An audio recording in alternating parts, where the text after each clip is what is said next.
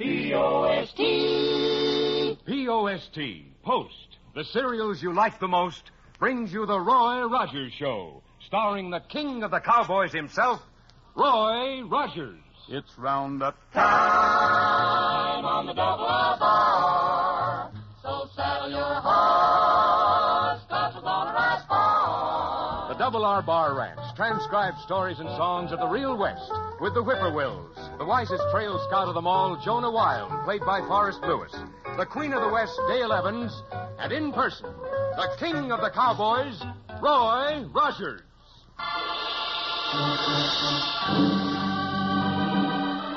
Well, howdy, folks. This is Roy Rogers. Well, sir, the first meal of the day is breakfast, buckaroos, and breakfast is sure to be mighty good if Mom has a supply of Post cereals on the shelf. Check with her about it, will you? You know, and so does she, that you can count on anything bearing the brand name Post. Well, the desert just out of Paradise Valley has warmed up considerably the last few weeks, and that means things can happen mighty fast out there.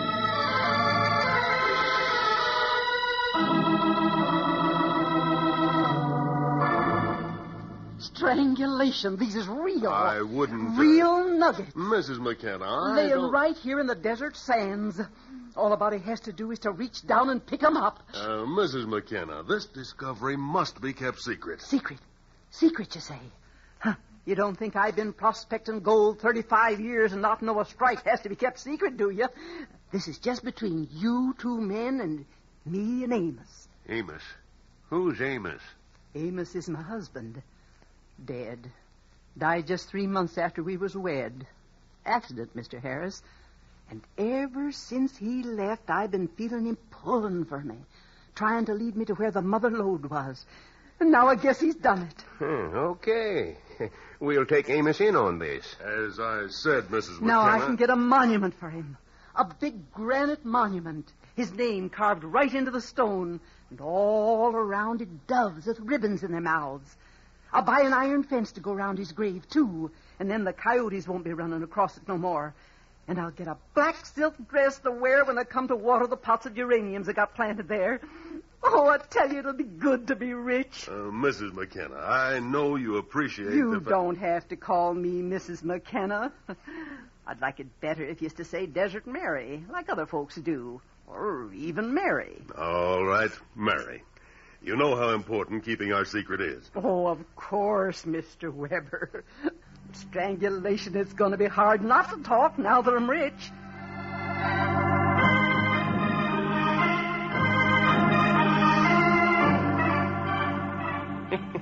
She won't tell. Oh, no. Can't you see her when she gets to town? Opening that dirty old poke, spilling out her five nuggets. Strangulation, boys. I'm rich.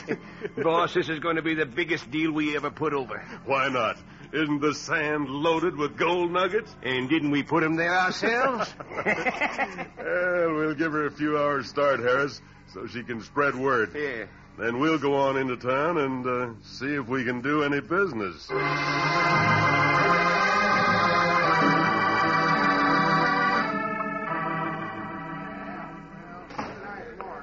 The best black silk dress in the house. Shiny black with a white collar and, and white cuffs, too. Hi, Mary. and they got to be lacy, full of little holes with stitching all around them. And the dress has to be Mary, just- I'm afraid you've come to the wrong place. Oh, don't worry about the cost. I'll pay these. Look here, real nuggets. Found them out on the desert floor. All a body has to do is stoop down and pick them up. There's just. Put 'em away, Mary. Now, look, why don't you sit down and have a bite to eat now that you're here? Well, yes. I might like a bite of store food now that I'm rich. No more beans and bacon now, eh? You just sit right down, and I'll get you something special. Don't go away, Mary. Where are you heading, Dale? To see if I can find Roy. You boys let Mary alone, you hear? Yeah. Uh, Mary, uh, it looks as though you made a real strike. Um, whereabouts on the desert did you find these nuggets?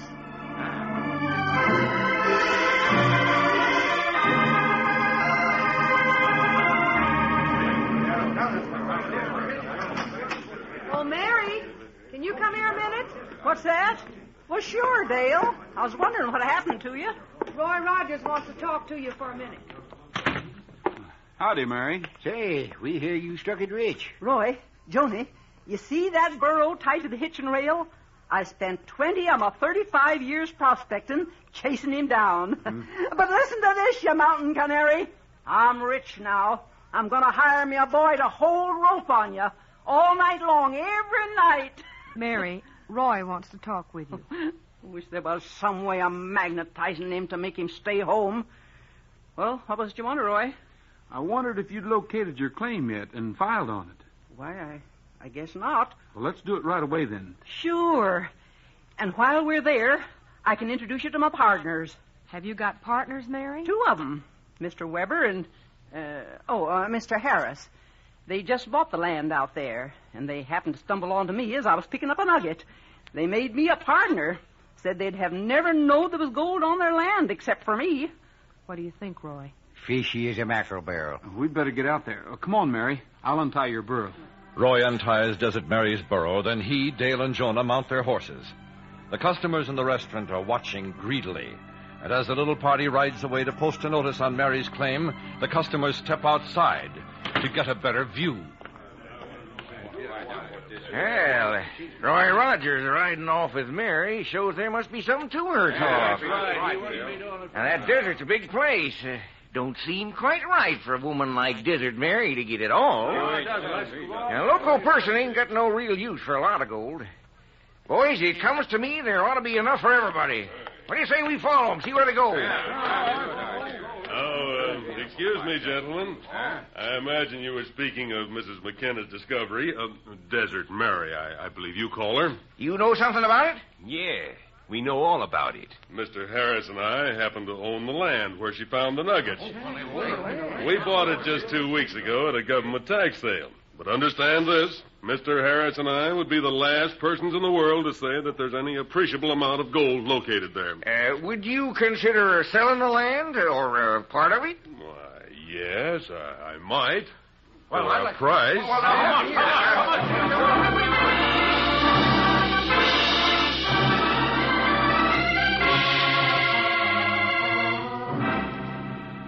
Okay, Mary, here's a note to the claim recorder.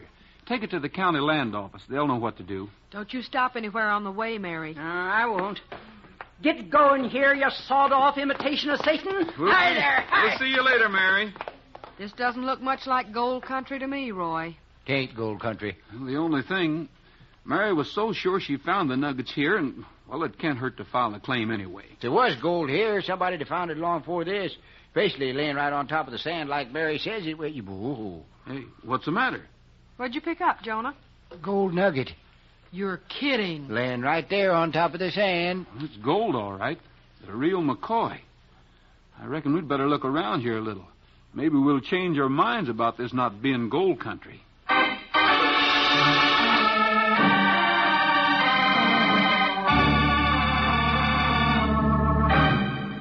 Here's another. That makes 12 altogether, besides the five Mary found. I think we'll make a report to the sheriff. I wonder where he is. Well, early today, he was sitting outside of his office watching flies try to find a hole in his screen door. Hmm. And I ain't seen him since. Are you two speaking yet? Yeah, we speak, but we don't exactly stomp the ground and slap a leg when we see each other. And a woman was the cause of it all. uh-huh. And he's about run his course as far as Dorothy May's concerned. How come? Well, the other evening she asked how did I think it'd be if she touched up her hair so it'd be red. Uh, uh, uh, not a dye job, just a touch-up. Mm-hmm. What'd you say? Well, before I could say anything, she she, she give me that fetch me a sandwich smile and says, "One man I know is so old-fashioned he promised never to call again if I did." well, I knowed right away who that was. The sheriff. Sure. So I laughed, hmm, sneered at a man so backward that he didn't like discolored hair. Whoa, whoa, Trigger. She sighed then and said she was glad that I wanted her hair red, but uh, she guessed she couldn't have it done till next payday because she was uh, kind of short of cash. That looks like the sheriff coming. Well, I asked her point blank, did the old-fashioned feller mean what he said when he promised not to call? And then Dorothy May looked out at me from under them long lashes, and she says, Yes, Jonah, I'm afraid he did.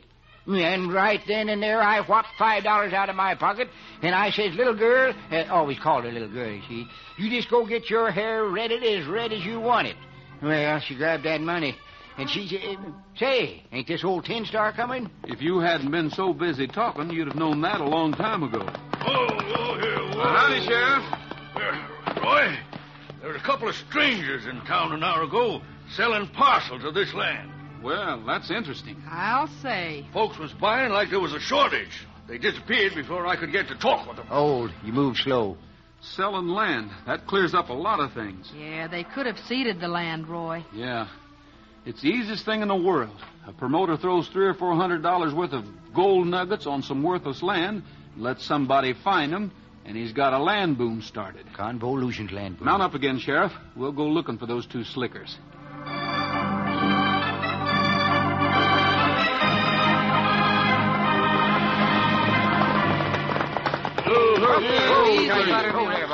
What have we got coming here? These may be the two we're looking for, Roy. And they're strangers, all right. Not staying at the hotel either. I wonder if I like red hair myself, come to think of it. Well, how do you do, gentlemen and lady? You weren't looking for us, were you? Uh, we were wondering the same thing. It's our land just beyond the flats. There seems to be a sudden desire on the part of the public to own some of it. We thought. Oh, is uh, that land for sale? Not anymore, it isn't. No. You're uh, Roy Rogers, aren't you? Yeah. And the sheriff.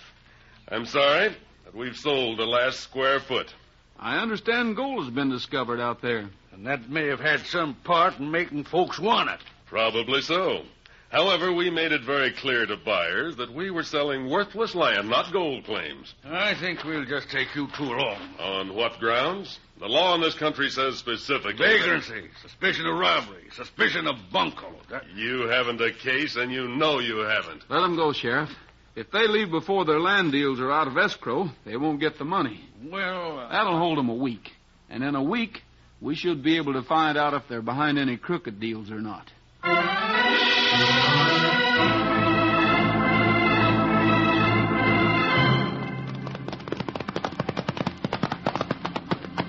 Roy? What's the matter?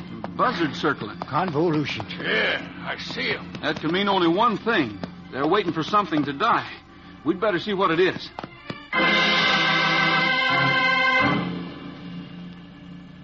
Roy.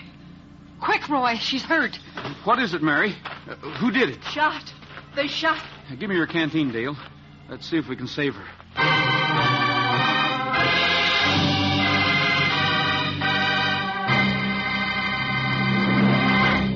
Fords.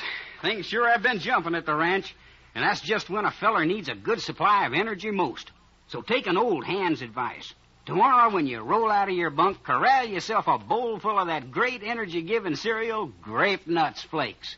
Why, two minutes after you polish off a bowl full of Grape Nuts Flakes, their powerhouse whole wheat energy starts to go to work for you.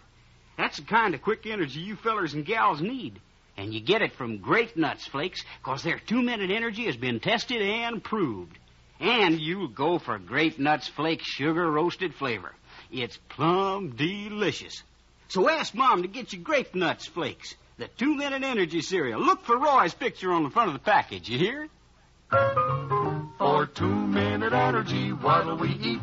Grape nuts flakes, oh boy, they're a treat. Yes, their two-minute energy has what it takes. So rise and shine with grape nuts flakes.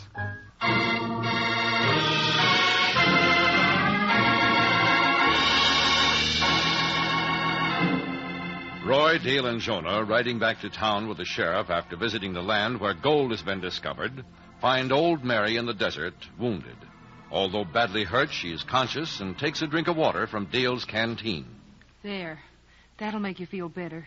Am I, am I going to die, Roy? Why, of course you're not. I was, I was worrying about dying. It'd be a dirty trick to play on me now when I could get the monument for Amos and a fence to keep the coyotes off. How are we going to get her home? Put her in my saddle. I'll get up behind her and walk Trigger the few miles that are left. I was still in town. My two partners come in. They was selling the land.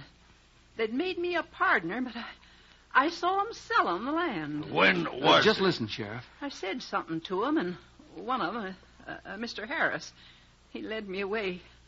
He took me to the edge of town and told me to get out. I thought so. And later I saw 'em following. And then I felt a shot and I stumbled. They rode up, but I lay there pretending to be dead for fear they'd shoot again. I'm changing my mind. Jonah, you and Dale take Mary back to town. You bet, Roy. The sheriff and I are going rattler hunting, and right now.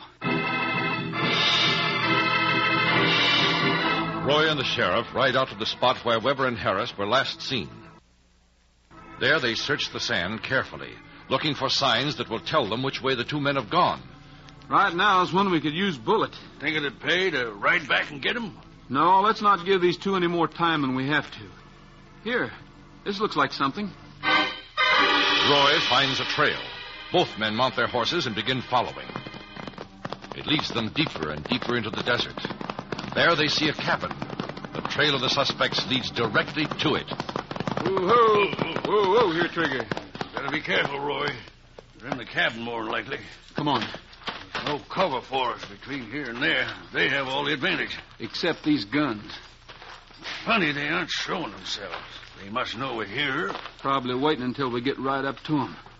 Not a sign of life. Horses out back. Yeah, I noticed. Stand to one side. I'll push the door open.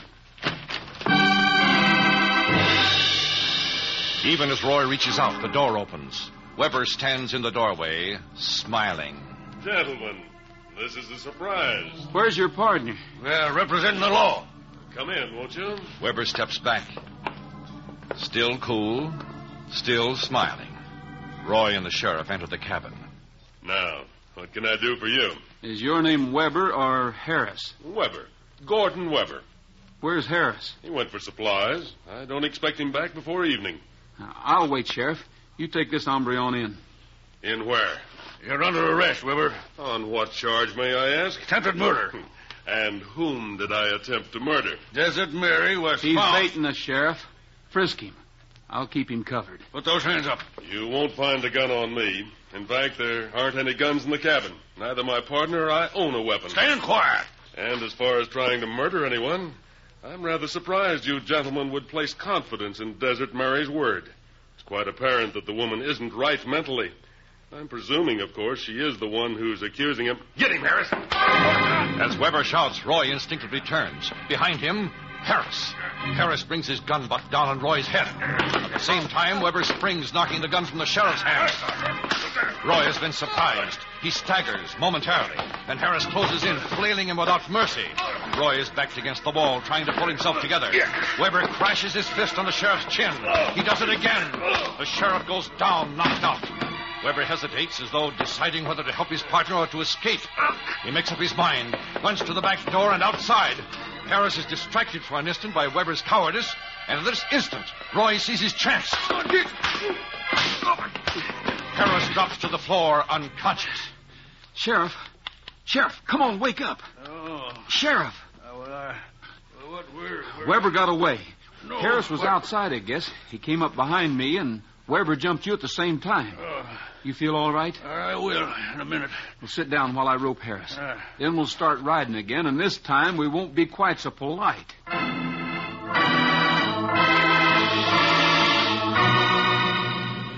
This ought to hold you for a few hours. Yeah, you're making an awful lot of trouble for yourself, Rogers. By your own word, you got no witnesses. Do you think anybody's going to believe a loco like Desert Mary? Get those feet together. Yeah, when she gets up to testify, the only thing that happens is Mary goes to the loony bin and we go free. We? You're still partnering with a man who ran out on you, huh? I'll take care of him in my own way at my Hey, own listen. timing. that sounds like Bullet. It is Bullet. Dale and Jonah must be bringing it. They're getting here just in time. With Bullet along, we ought to track Weber down fast. Let's get out there.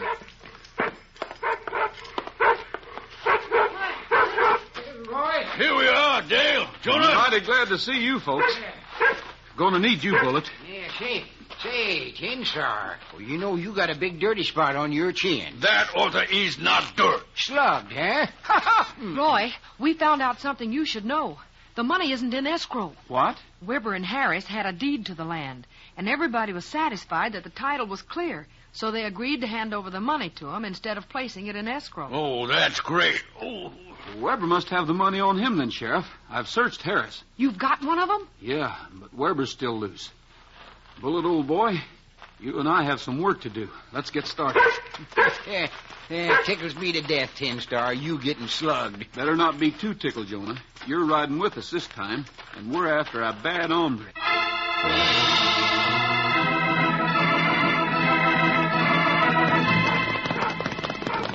Looks like he's heading for Bingtown. Maybe he has friends there. Friends or no friends, we're taking him.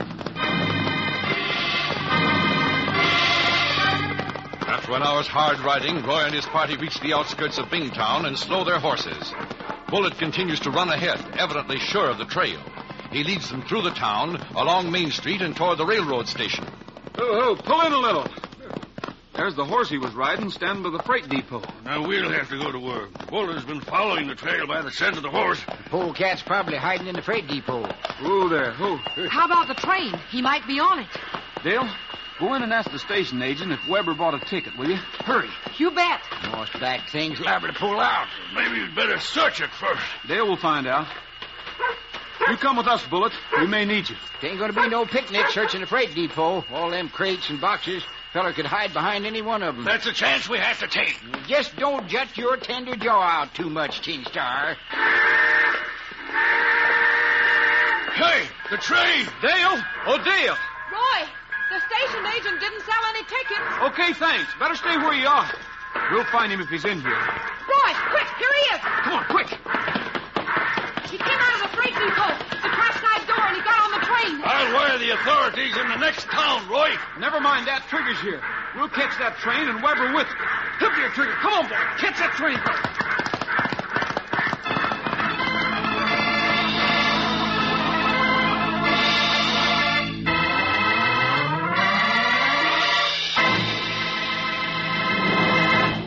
Say, ever notice how fast good news travels? Well, that's just the way the word's getting around about wonderful Post Sugar Crisp. Yes, sir. Folks just love that delicious new cereal treat, and they want to tell everyone about it. You will too once you try it, because Post Sugar Crisp is fun to eat all day long. Tomorrow morning, you just pour out a heaping bowl full of that sugar and honey coated puffed wheat. Add lots of cool milk or cream. You don't need sugar. Post Sugar Crisp is just sweet enough. Mmm, and how you'll love each delicious spoonful. If you go for between meal snacks after school or at bedtime, try Post Sugar Crisp then, too. It's so delicious and satisfying. Or when you're watching television or studying, just reach into the Post Sugar Crisp package and enjoy it as is, just like candy. And say, it's good for you, too. Wheat for nourishment, the sugar and honey coating for flavor, plus quick energy. No wonder Post Sugar Crisp is such a favorite. You try it. Get Post Sugar Crisp right away. Look for the package with the three little bears on the front.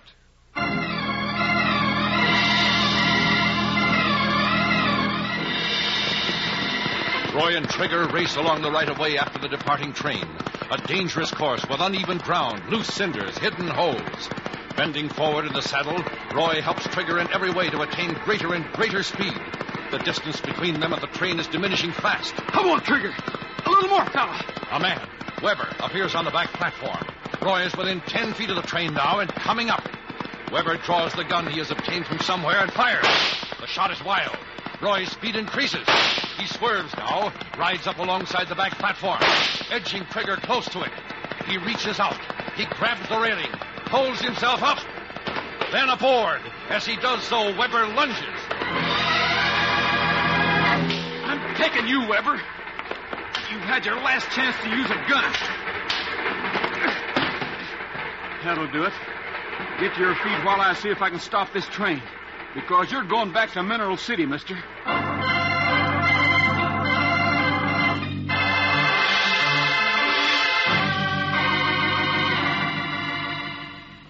Mary, we're just sorry as you are that you didn't make the big strike you've been dreaming about. It's all right. It's all right. But you'll be well again, and real soon. The doctor gave us his word on that. Now, wait a minute. That's not all. The folks who were after the land have their money back. And they've also learned that it doesn't always pay to be greedy. Here, Mary, uh, they want you to have this. What is it? Money. You're to buy the monument and the iron fence you wanted. I. Oh, strangulation. Amos will be glad of that. He'll be awful glad. Now he can rest. And so can I. You get some rest right now, Mary. Come on, Roy. Okay. Strangulation. Amos so sharp. Jonah! Hey, what are you doing here, Jonah? Feeling like a heel? What's the matter? Oh, I think I'll go home, prop up my bed springs, and just lay there till kingdom come. Ain't no more use going on. Oh, the idea. Shame on you. You and Dorothy May haven't had trouble, have you? Well, I told you, Roy, about how she wanted to tint her hair red. Mm-hmm. Well, she went and done it. Say she went and done it. Now the school board is kicking over the traces to a fare ye well. Uh-oh. The school board doesn't like it, huh? No, on account of some of the older boys. They say if the older boys have a red-headed teacher, they won't be able to keep their mind on their work. And Dorothy May has got to change it back. Well, that's too bad. Yeah, and she's blaming me for the whole thing. Says I was the one who persuaded her that she ought to be a redhead. Says I needn't call on her no more. Yeah, even sent the manuscript of my book back. Oh, I tell you, Roy, I am about at the end of my tether. Uh, Dale, do you suppose we could find a man typist to do Jonah's book? Well, I'm sure we could if we looked. Well, then let's do look. I think that might save an awful lot of heartaches.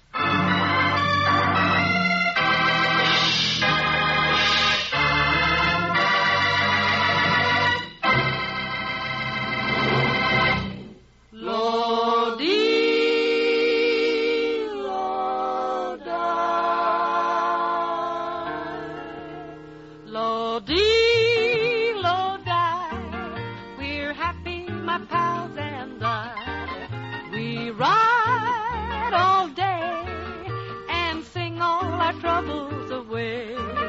Though the sun is a blinding and the trail is a winding, the western wind is high.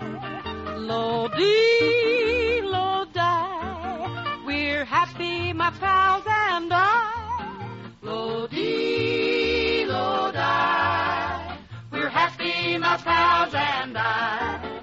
We ride all day and sing all troubles away. Though the sun is blinding and the trail is winding, the western wind is high. Lordy, Lordi, we're happy, my pals and I.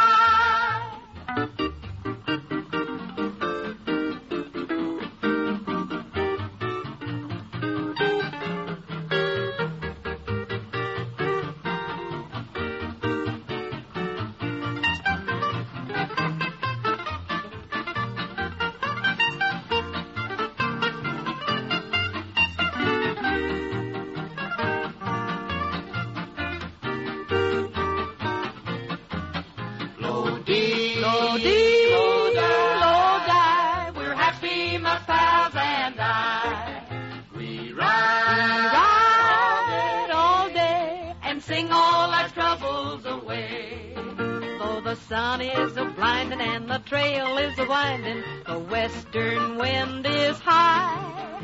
Lordy, Lordi, we're happy, my pals and I.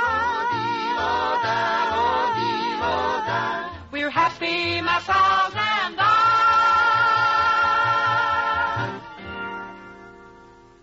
That's all for now, folks. This is Roy Rogers saying to all of you from all of us, goodbye, good luck, and may the good Lord take a liking to you. See you next week.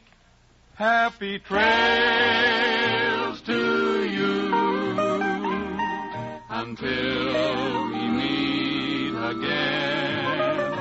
Happy trails to you. Keep smiling until Roy Rogers Show is brought to you by Post Cereals, each week at this same time, with the Whippoorwills, Forrest Lewis, Dale Evans, and the king of the cowboys himself, Roy Rogers. An Art Rush production transcribed, directed by Tom Hargis, script by Ray Wilson, music by Milton Charles. Featured in today's cast were Frank Hemingway, Herb Butterfield, Nestor Paiva, Don Harvey, Gwen Delano, and Tim Graham. This is Art Ballinger speaking for P.O.S.T. Post Cereals. Happy trails to you until we meet again. Happy trails to you. Keep smiling about the clouds if we're together. Just sing a song and bring the sunny weather. Happy trails to you till we meet